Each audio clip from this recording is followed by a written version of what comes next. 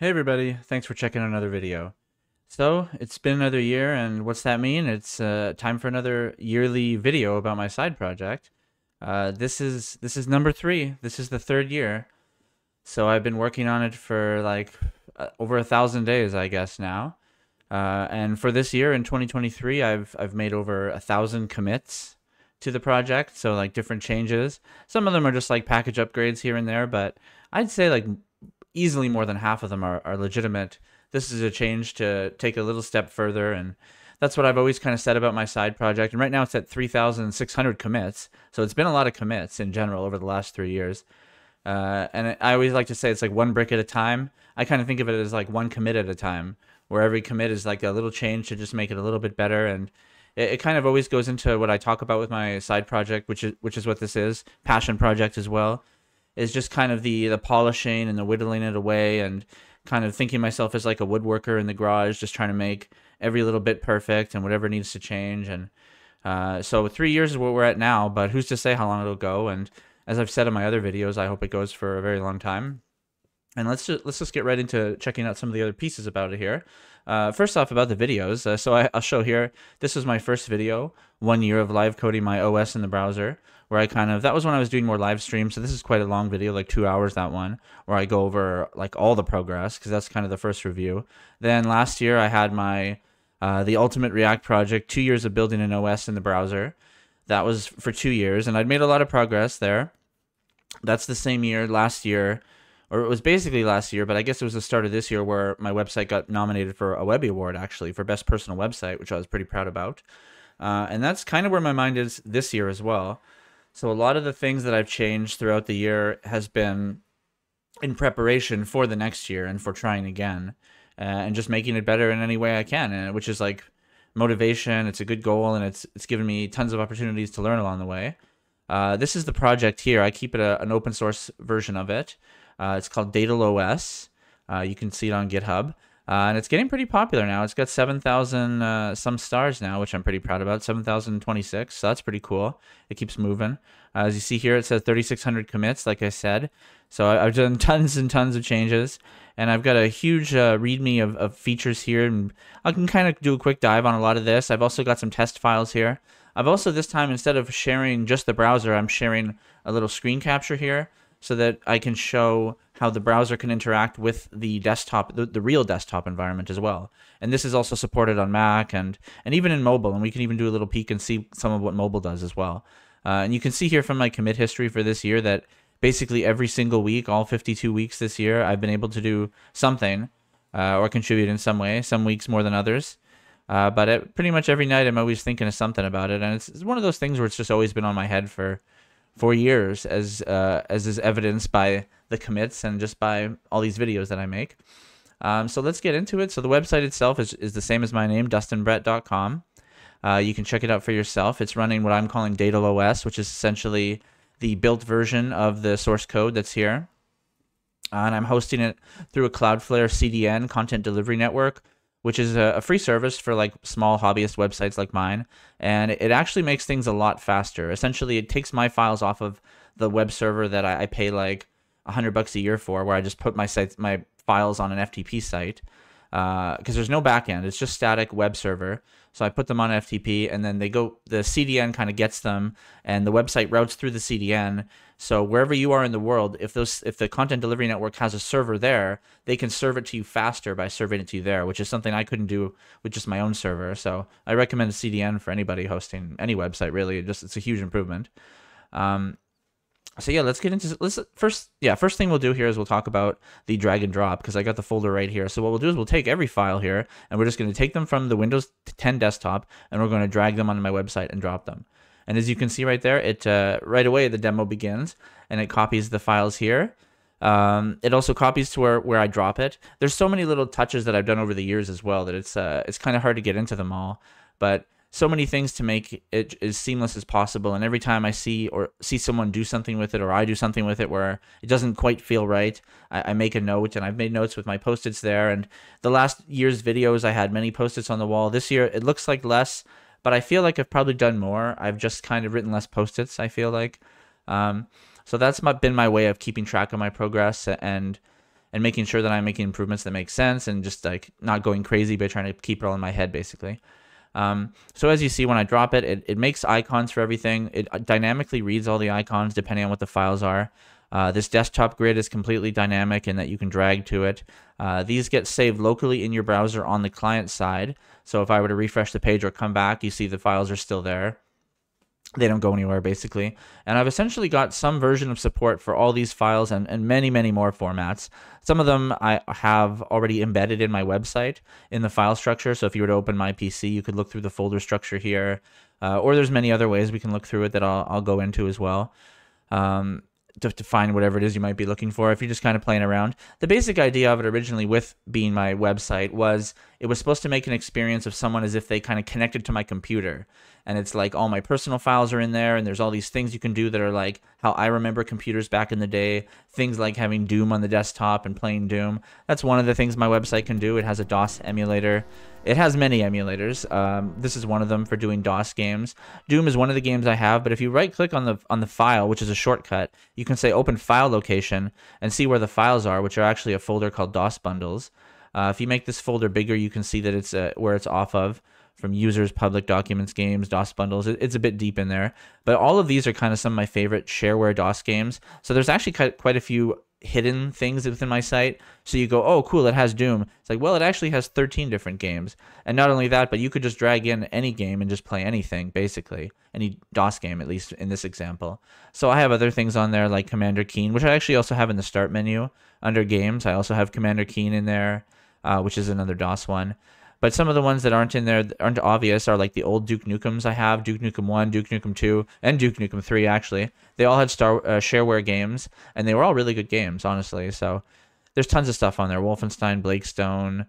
Uh, you, you have to take a look for it yourself. And like I said, there's a search here, so you can also search for it, although you, you probably wouldn't know to search for it. So this is kind of something you'd have to hunt for.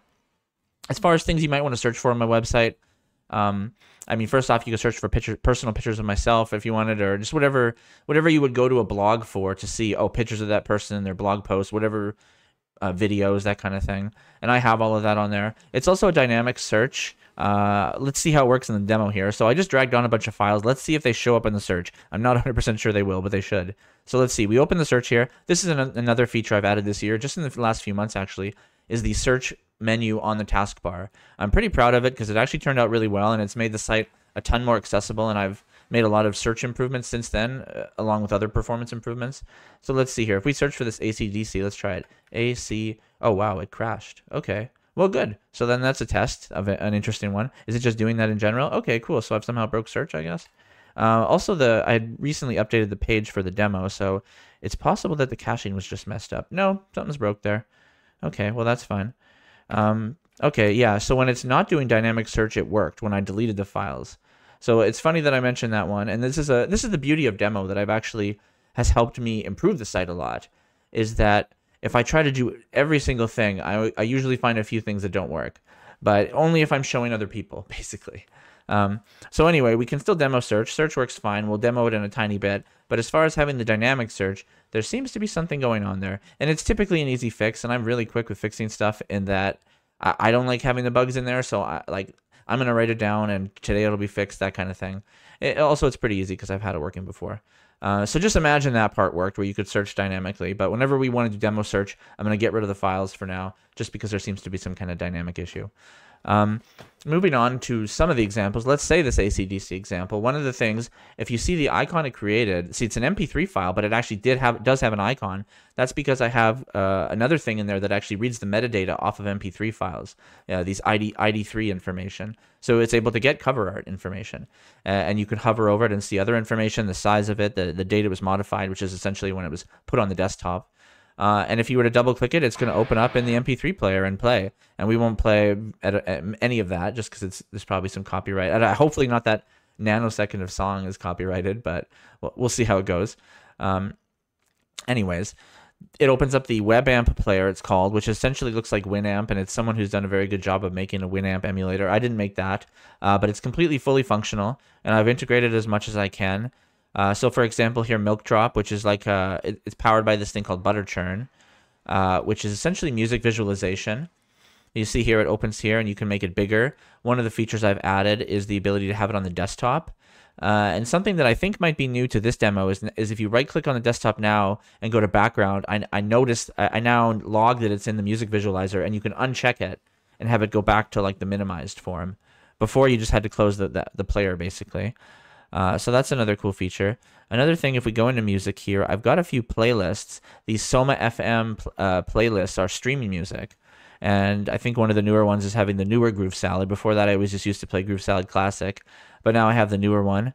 Uh, and you and you can just play that, and that's playing streaming music basically and you can also skin it. Another feature that was recently added from the same person who made this, they have a, a, skin library and they've given me access to be able to make requests. So I can do this random option where it will randomly pick a Winamp skin and you get a cool one like that, like let's say Pac-Man. Uh, and another feature I showed before is that that remembers that. So if you close and you come back the next day and you open this, it'll go back to Pac-Man. And again, let's not play that sound much more. Um, so yeah, that's that example for music. Another cool one like this uh, this picture here is actually a JXL file, which is JPEG XL, which has been removed from Chrome, but we're in Chrome and we are able to see this JXL file because I've added JXL decoding to the website. Uh, it's the same story with TIFF files here. This TIFF file is able is uh, is also being decoded. That's not something that normally works with uh, the browser, at least Chrome browser.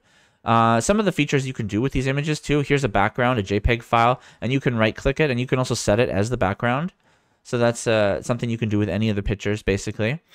And it's actually something you can do with videos as well. So if you see here, I have a video player uh, that can play videos. Another thing too is its thumbnail is also dynamic. So you see its thumbnail is, is moving as well. And I can right click that and I can actually make the video uh, the wallpaper as well. And that also is retained. So if you anytime you come back, that could be the wallpaper if you want. Um, some of the other icons here, I have this little, that's just a GIF. Uh, you can open it in the photo player, or photo viewer, sorry. But also, uh, it just plays as a GIF on the desktop, which is actually something Windows doesn't do. As you can see here, the GIF is also here, and it does not animate GIFs in Windows for whatever reason. Uh, some of the other wallpapers we have, just to change wallpapers right now, I have APOD, which is Astronomy Photo of the Day. That will grab the latest one from the uh, NASA API, which is a free API to access. Coastal Landscape is a cool uh, wallpaper somebody made that's kind of reminds me of Windows XP, and I've I loved it so much I loaded it on here. This Hexells one's pretty cool. Uh, it takes a second to load. I'm thinking of adding a little loading indicator because sometimes it looks a bit slow. But when it loads, it's really cool, and it uses like some kind of generative AI type of model. It's kind of a little bit before that, but it's it's got some very cool effects that are in some ways they look natural, kind of. I've also got the Matrix one. Somebody did an amazing recreation of, of different versions of the Matrix, including the ability to make a 3D version of it, which I thought was, was quite cool. So I like to have those on my site. I also have my picture slideshow, which is kind of what I'm demoing here behind me. And it's just uh, the, all the different travel photos and different photos that are important to me that I, I share on my website. And you can view them as a slideshow. And, and again, it remembers that. So anytime you come back, you can see a new slideshow picture. Uh, the Vanta Waves one is the default one. And then I'm going to demo this one here. This is a recent one. It kind of slows my computer down, so I'm going to fingers crossed on it. And when you click it, it essentially it will generate AI images. So it's AI image generation via Stable Diffusion, but it's running in the browser. So what it does when you first click it here is it downloads the model data to be able to make uh, different AI inference, uh, generative AI art, basically and I've got a different a JSON file, like a text file that has different prompts of like cool ideas for wallpapers, and it takes that and makes a unique wallpaper every time. Uh, now the reason it went so quick there is because it was a bit cached. So now here it's starting the steps that are kind of will slow a computer down. Typically, it slows my computer down, uh, and it's not really like lower clocked. So even if you had a faster computer, it probably would still slow it down because it tries to go as fast as possible to make this image. Uh, and on a, a, basic computer like mine, I have a not a very good video card. It's better than like mobile or something like that, but it can make an image in I think it's like 30 seconds. It depends what you're doing on the computer. Uh, and every 10 minutes, I had it set to make a new image.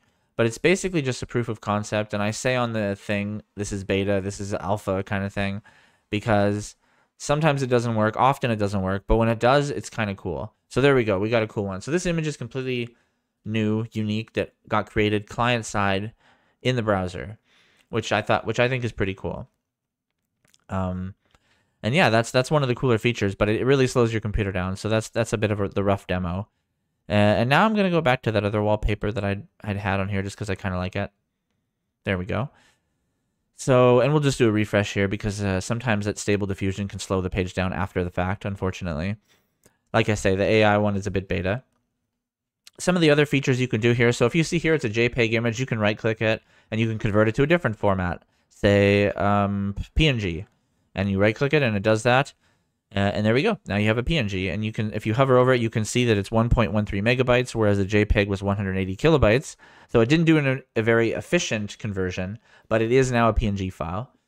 Um, some of the other cool features that I have that I want to demo is that I have the ability not only to drag onto this thing, but I can drag in the other direction for local files. So let's say here you're looking at my pictures, and you like this travel photo of me in Bolivia, let's say. I can take this picture and I can actually drag it off of my website and onto the the real windows, which is kind of a cool thing. I think it only works for one one file at a time, but it essentially works. So that's like dual drag and drop. So I drag it from my website on my fake file explorer into the real file explorer in the here, and then I could probably take it again and drag it back onto the desktop and then put it there. So that's like a complete drag and drop from one paradigm to another but because of the work that I've done, it hopefully looks somewhat seamless. Uh, I mean, if you look at the different folders here, they're not exactly the same, basically. Um, but I've tried to, essentially mine is more like how I, I want it to be. Like, I don't actually like this black menu bar. Uh, and recently in the latest version of Windows 10, the, the latest update, they just did an update where they actually changed the way this address bar looks a little bit and they squished it a little bit and they moved the way the hourglass was and a few other things. And I liked parts of it, but I like parts of the old one. So if you see from mine, mine's a little taller, and my search works a little different. Uh, I wonder again if dynamic's going to kill us here. Oh, no, it didn't. Nice. I wonder if it's only if I search for something dynamic like the U. Oh, yeah, it is. Oh, that's pretty cool that it. This is another thing that I hadn't demoed before, but uh, I have some isolation within the components. So I was able to crash the file explorer here without crashing the website, which is kind of cool. But there's definitely a bug with dynamic search because when I search with with the letter U, which this file is a dynamic one, it kind of it gonked out on me there. Uh, but if we were to say for an A there, it's fine. So you see, I prefer this kind of search here where it, it pops them up that way. I've also added folders as the, to the search results. Before I didn't have the folders. I've done a ton of performance improvements, I've, I hope. Uh, even like this example here of opening this folder and the way the icons loaded, that used to be much slower and it used to happen on all files because of, of the nature of what the way they were. They were shortcuts, so it had to get more information to display them, but they weren't displayed yet. Um, I've tried to do many things that way to make it more performant. Same with lots of other subtle things involving the tags. Maybe this is a good time to open up the dev tools within the browser and switch to the mobile view. So you can see here that it is a complete mobile experience as well. And things I try to resize as much as possible. You see the search here becomes single pane, but you can still search the same way. So let's say we want to search uh, for Paris, let's say. Search Paris and you can see my blog post about Paris. Uh, you can probably see some pictures. You can see a folder here where I talk about it. Um, so as you can see, it's it's functional as a mobile uh, website as well. And another reason I wanted to open up this was talking about performance. If we look at the elements themselves, like let's say one of the, uh, this picture right here, what I've done is I've used the the more modern HTML to make these pictures dynamic based on the uh, the ratio, the pixel ratio of your screen. So I actually have various icons for the different sizes: the 144, the 90, 96 by 96, 48 by 48, and depending on your resolution and your uh, pixel ratio it'll actually give you different icons and it looks quite a bit more crisp. So that was another thing i've done to try to make it look better on like such as mobile devices tablets while also kind of uh, making it more modern. So like uh, it, that's something else i've done that I, I see a lot of sites don't do. I'm not sure if it's like good or bad but if you see the markup my html code for this it's all kind of done in a much more semantic way where this is the main the main level here, and this is the list of the icons. This is a navigation element, the taskbar. The, the wallpaper is like a canvas, uh, and the same with each of the buttons as well, as much as I can. I had to make them divs because of the way Safari works, but I, have tried to even make the elements make sense and just kind of deconstruct it that way as much as I could. Uh, let's try some more demos here with some of these other files.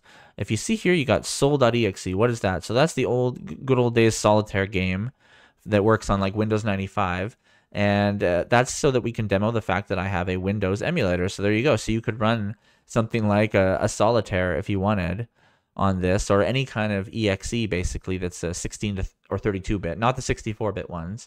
That's one of the caveats. Uh, but yeah, you could run it in there, and it's even uh, it can capture the little icon here at the bottom, which is another feature I had even mentioned. But uh, if you hover over the taskbar I- icons, you have a dynamic peek here where this is actually happening live. Basically, there's so many more features I could go through here, honestly. Um, as to some of the other demos, like let's if we were to open up a terminal, if you right click anywhere here, you can open up a terminal and you can type help to see all the various uh, commands here. And there's quite a few. I would say I've tried to recreate pretty much every command that a terminal, the generic terminals will have as far as file system commands to be able to navigate the file system. Like here, we open this up from the desktop so we can do ls. Uh, and you can see here, these are all the, including the dynamic files I've dragged on it. It knows all of those as well. Uh, and some of the other dynamic things here. So let's talking about Windows, talking about old versions of Windows here. You see win31.image. I actually have an x86 emulator, and you could fully run something like a Windows 3.1, 95, all sorts of 32-bit operating systems or things you could boot off of this emulator, which is called uh, running through virtual x86, they call it. So there you go. So you could even run Windows uh, 3.1 basically on my website. Uh, and this is uh, this can run other demos as well. Like uh, I also have the DSL44, which is a Debian Linux. Uh, ISOs as well I can open within File Explorer. So if you see when I double clicked it here, I could see the contents of the ISO. But if I right click it, I can also say open it in the emulator and it will open in, in the emulator. So now we can run emulated Linux while we also have emulated 3.1 here. And we have my real terminal here as well and you can hover over all these to see the little previews as they're doing things. So you can see this one here, how dynamic it is that even when it's changing, if it changes here, there we go. So now it's doing a little bit of text here at the bottom, and you can see that that's actually happening. Uh, it's not fake, basically, is what the demo there. So yeah, it can run these and it can boot Linux. And just while it's doing that in the background, we could do some other demos. I've got a PDF reader in here and I've recently made the PDFs dynamic. So you see here the scroll bar increasing in size. Before this 300 page PDF just basically wouldn't open. It would take forever to load them all. But now I've been able to make it more dynamic and uh, and then it could load. Basically, then it worked. Um, what are some other things? QOI. This is quite okay image format. That's another format that's not native supported that I've added support for. RTFs. It tries to convert RTFs, which is like a rich text format, into this other format clearly it didn't do a very good job here. Um, this is actually, yeah, it didn't do a very good job here because it didn't uh, understand the coloring in dark mode. That's probably something to tweak, but it did try to attempt to convert the RTF into an HTML file. Didn't do great. Um, a good example of that, let's say we open up one of my blog posts here. This is one of my blog posts, and I've changed my blog post format a little bit in that I've made it look more simple the the dem, the, the way that it previews here, but it still is TinyMCE, which is a WYSIWYG editor. So if you see here at the bottom left, edit document, you can actually edit and make blog posts in here. So you could even edit my blog post and like delete piece of it and press save, and then that'll save it. So if you were to come back, you would see that that piece has been deleted, and it even updates the icon to show a new version of it. So like let's say if I were to delete all the text here from the start and save that, and then refresh, you'll see the icon. Oh, it actually didn't change it there. Oh, that's because I've explicitly set that shortcut icon. If we open the folder for it, here we go. Here you can see that the real icon is now, those images are like touching, um, which is, the, if you shrink this enough, I think you'd probably get that effect. Yeah, that's kind of what that image, that shortcut looks like, is a bit like that. So that's, a, that's dynamic. Uh, but if we reset that here and we open up the blog post again, you see it never really changed and it only changes locally. Some other cool things I've added to within the blog is if you click some browser links, such as a Wikipedia link, it can open it in our, my fake internal browser because Wikipedia allows iframe CORS connections. So this looks now like we're running like a fake version of Chrome in my site, and the this is really Wikipedia, but it's just kind of still a lot of smoke and mirrors to make it happen. And quite a f- and, and very few of these demos within the, the fake browser work, but some of them do. So that's why I've kept it because it's pretty cool. Uh, these pictures as well, if you click them, that's my family will open uh, in the photo viewer. There's my my dogs. Uh, I have another beagle, but last year my beagle was here, but now that I have another puppy there, they freak out too much to be in this video, unfortunately. Maybe next year they'll be in the video. Uh, what else do I have here? I have my my YouTube player as well. Like the video player can also play YouTube links, and I've done a lot of work to fix the resizing and allow the dynamic title and and stuff as well, even though it's running directly in YouTube. So I've tried again to kind of integrate things as much as possible. that's a huge theme throughout my site is to try to make it so seamless that you you're always just like, well, well, what? How did he do that? Or or they're not even sure. Like, yeah, like that's the biggest thing is just making people not sure. Even the right click menu to try to make it feel natural, where people forget that this isn't the browser right click menu. This isn't Windows. This is just my website showing you a box, a gray box that you think is the menu, basically, and that I've done a lot of work to try to make look like the menu. Even things like you see how that animates open, and you see here when I'm hovered on a sub menu, but if I go away, it doesn't fade instantly. That was something I had to learn, things like that, because if you fade it instantly, it becomes from a, U, a UX point of view, a user experience, it's a lot harder to click things, honestly. What are some other things I have on here? Map directory to be able to map a actual directory, like that test files folder. So let's say test files here, I can actually map an external from the OS folder into my website. So here I go select folder. The browser says, are you sure you want to allow that? Okay, sure. It's just client side. And so now this folder here is essentially the exact same folder as here, but running on my website through the um, file system access APIs that the browser allows for me to be able to know what's on someone's computer as well. And you can see here that my icons and theirs match, but uh, like say the quite okay image, I have the thumbnail, Windows doesn't. I have an animated GIF, it doesn't. I have an animated video, it doesn't. So I've tried whenever I can to even improve upon it. Um, and now we could even run the files from here. So I could even clear this and not have not have dragged the files on, but just map the test folder and then I still have it all in my system here, just like that. And this persists. So if I refresh, the folder's still here. And if I click it again, it asks me again. And there we go. And I can see them again. And I can interact with them all the same way. And they can, so through the mounted folder, I could even run that OS. I can run Linux from the mounted folder without ever actually putting the files on my website, kind of. I mean, if you read it once, essentially it's there. You've put it there by giving that information out. Uh, but that's something that, like you say, there was that prompt there, or like you saw. So the prompt is you accepting that connection, and it's just purely client side, like I say again. Um, so then that's loaded. What other cool examples? I have a font viewer uh, using a, a font JavaScript library. So this can read font files, and I tried to make it look like the font viewer that's in Windows because there is a font viewer in Windows here. Oh, it's pretty big. Um, but yeah, I've tried to make it look similar. Obviously, I don't have the install button, although I could. I've, I've been considering that the ability to set to drag a font on and then set that as your system font. And on that note, here's another thing. If you see the cursor file here, I actually have the ability to set the cursor. So set as mouse pointer. Oh, but it didn't work? Interesting. Huh, well maybe that's a bad example. One second, because I think I had another file that... That's unfortunate. I didn't try this one out beforehand, but I used to have... I definitely have the ability to set those icons. Here, let's try this one here with this ANI file. If I try set that as the mouse pointer, okay, that one does. So there's another bug. Again, the demo bugs, but I expected the cursor file to work. The animated cursor file works, although that doesn't animate. Um, but as you can see now, my cursor is that any file. And ideally, I could have made it this cursor file. In the future, I will. That's another bug that I've logged for, for quick fix. So that's another kind of neat feature. And this also persists. So if you refresh and you come back, it remembers that you wanted a custom cursor on this website and you want to see this stuff still. Uh, and this actually is a two-way connection too. So this file here that is not in the test files, which is in my OS, I can take it and drag it on here. And it's and now again the browser says, "Do you want to allow them to write?" And now and now where we're looking at this question here, we can see that I also have a transfer dialog that I've made. That's again fake. Save changes. It wrote it, and boom, there it is. Now it got put there, and it sorted it there. If I refresh, does my thing sort that way? No, because I already remember the sorting order from initially and knew that it was put here. But if I were to map it again, it probably would also sort correctly at the same place. Let's see. There we go. Yeah, now it's positioned exactly where it is on the Windows one. Yeah, there we go. So cool.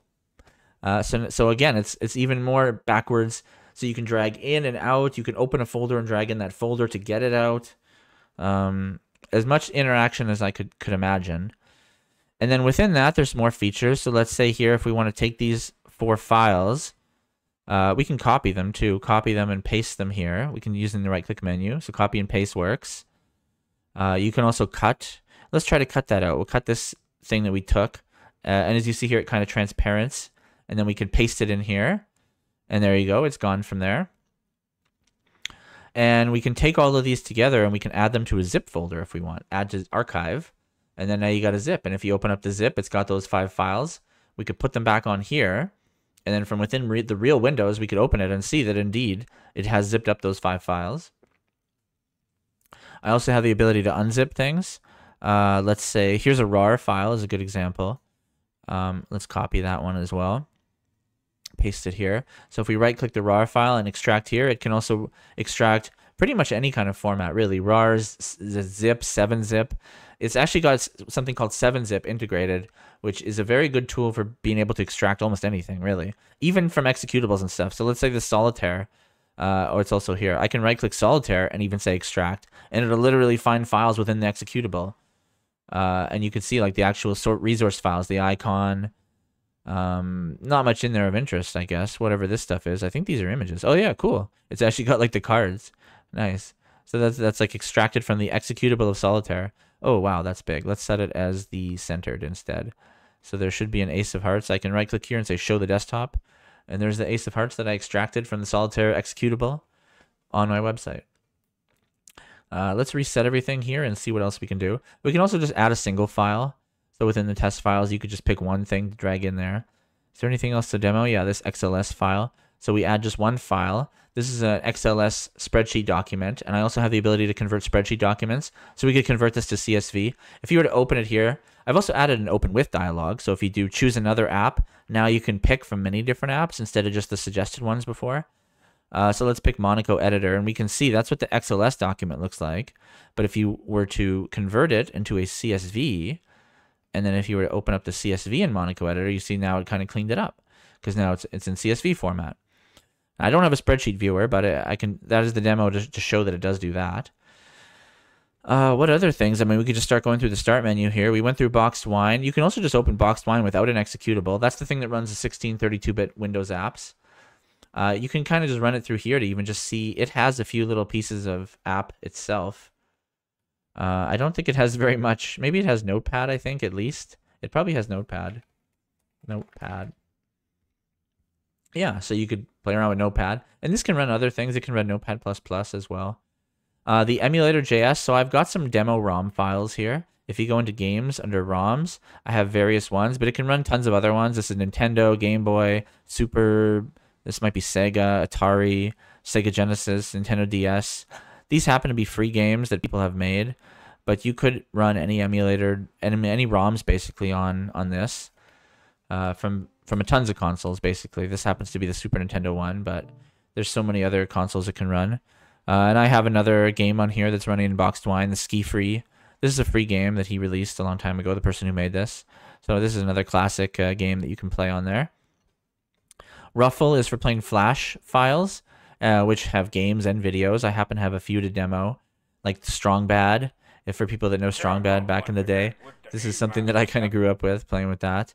Uh, but it can also do like live interactive demos. There's this fake version of Windows, uh, which within my fake version of Windows already called Windows RG, and this is like an interactive, silly fake Windows in its own right kind of thing. Uh, or, or this one, Badger, Badger, Badger if people remember that from back in the day.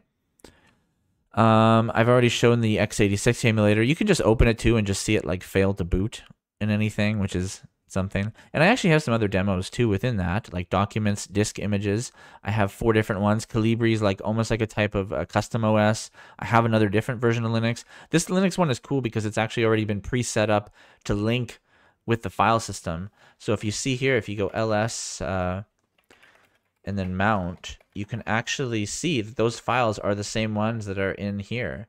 So there's actually an interconnect between the emulator as well. Uh, same with the internet as well. This actually can connect via a WebSockets proxy that is just kind of out there in the world. And you can actually make connections and do ping and stuff. Although I haven't tested this in a while, so it's possible it doesn't work. Looks like it might be. Let's try to ping something. Ping google.ca. Ooh, not CAS, CA. Oh, interesting. I wonder, maybe it can, just, maybe no DNS, but it can ping uh, direct IP addresses. Yeah, there we go. So the fact that it's pinging means there is some kind of internet connection there, which is kind of cool.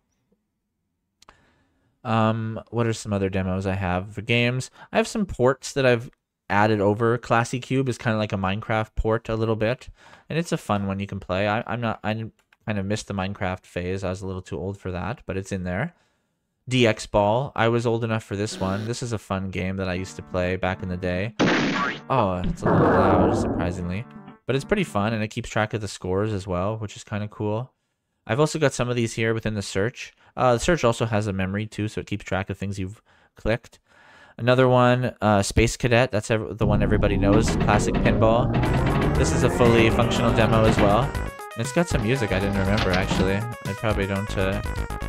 Let's cut the music here. Oh, that's funny.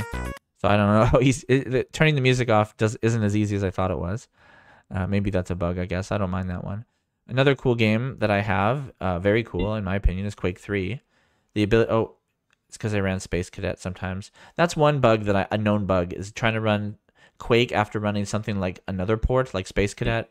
Kind of doesn't work. But all you have to do is refresh the page, and then this is full on Quake 3 and works. So this is another one that I, I'm really proud that I've been able to get onto the website. I didn't obviously make uh, the pieces to get this far, but I was able to do the integration, which I thought was kind of cool. And this can, uh, you can play in full screen. Oh, it's kind of hard. Tough game. But I used to play that as a kid, so that's always cool that I was able to get that in there. I mentioned the fake browser. This DevTools is pretty cool. You can also right click and press inspect, and essentially it opens up a. Uh, it's not even fake. It's like a real DevTools that'll really log consoles from the app. It'll you can really inspect the elements, so you can look here and actually see the body of the page as it's going. So like let's say here, that's one of the icons, and you can see the information about it, the button. You can see the text for it, its picture, and really dig into it. Uh, so that's kind of a bit meta. Same with the network here. So if I was to open something, something that makes the network, here we go. That made the network read the thumbnail, and you can see the network requests as they come. Uh, or if you're opening up the videos, you can see that it made a GET request to the video, and that it even got the response from Cloudflare, the CDN. So that's kind of cool. You can see all the different resources on the website. It kind of knows about them all. Thought it was kind of neat. Another piece to that besides inspect is view page source, which just opens Monaco, but it downloads the index file. Basically the same thing as, as doing a view page source on a normal web page. And that's like essentially what my index file looks like. there's nothing fancy in there. I have IRC on here. I don't use it too often, but uh, it does it via WebSockets. You can connect to IRC servers via WebSockets, and the Libera Chat is open, which is actually a huge IRC server here. There's like 33,000 people online, it looks like here, something like that. Yeah, 30, yeah, something like that. There's 30,000 at least. So that's a full on IRC server, and you could just like chat on there. Speaking of chat, I have uh, added a messenger this year. So if you see my name here, Dustin Brett, you can click that, and it'll actually open my own messenger app that I've built. Um, now, because I have a plugin that connects me to Nostr, it's called N O S T R it's the protocol for for connecting where there's no backend and it's all like distributed basically. Um, so if you go here to the main page, you can see here all the connections, uh, these green dots here. Now I get tons of messages, which is pretty cool. I'm happy about that, but it's more than I can catch. So you see here, there's a few people. Hi, hi, please reply, sir.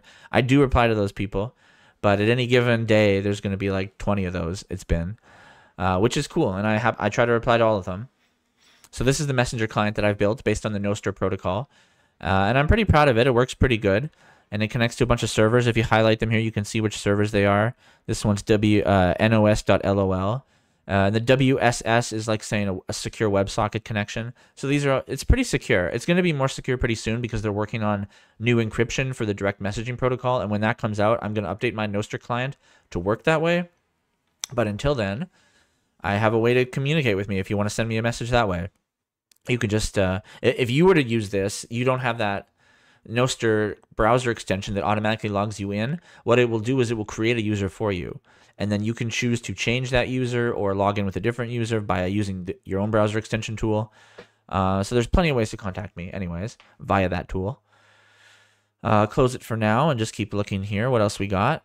I have marked viewer. If you go to the main folder here, I actually have a file called credits.markdown and this is a markdown viewer, and you can see here some, if not most, of the libraries and tools that I've also used to integrate into my site are, are mentioned in that document there. The Monaco editor, you've seen it a few times. It works for different tools. It's got like a little pretty print built in. So if you click here, it can clean up a lot of files like JSON, XML, that kind of thing, just to make them more readable. And then also you can kind of navigate them this way, which makes it easier. This is essentially the history file of the OS. Uh, and you can just clear that out to kind of reset it. what else we got? So many things. Uh, JS Paint for people that like to paint, and you could turn that into your wallpaper if you want. You could say set as the wallpaper, and that becomes the wallpaper. Um, I've mentioned the PDF viewer, the photo viewer, Stable Diffusion, the app. It's the same as the wallpaper, but you can pick your prompts. Uh, the prompts are in the picture folder as well. I've got a lot of folders of various things. I have pictures, my own pictures in here. Here's the prompt one with all the different prompts. Um, you can see my pictures in there. I had different videos. Some of these are actual video files. Some of them are just shortcuts to YouTube. Uh, I mentioned the music ones and documents. Do I have anything else of interest? The Winamp skins. These WASM files are cool. So I have the ability to run WebAssembly files as well. Like I'm using WebAssembly already tons throughout the site, but I can also run WebAssembly files. So something like cowsay.wasm, I can just double click that and it'll actually run cowsay. So I can change it here and now I can add to it and say hello. And you can see that that's a dynamic WebAssembly program running that's been compiled from C source or however it came, wherever it came to be. Uh, so that's one cool example. Next up here is Vim. For people that like to edit Vim files, you can edit them in Vim. And uh, if we reset everything here and we just open up, let's say the one of my this document here, this blog, I can right click it and edit it in Vim. And essentially, you can make a blog post in Vim if you wanted. I, I don't know much about how to use Vim, so um, it's not for me, but it's something I was able to add to the site. And I think I've gone through maybe 62% of the features, but I'd like to stop it there because I think that gives everybody a great idea of what it is. Thank you for checking out this video. Thank you for supporting me for three years. My website's dustinbrett.com if you want to check it out. The project is daedalOS on GitHub. Uh, please feel free to like this video and subscribe to my channel to support me. Thanks very much for everything, and uh, I'll hope uh, I hope to be able to make another video next year, and I hope to make another one even sooner than that, and see you in the next one. So thank you very much. Goodbye.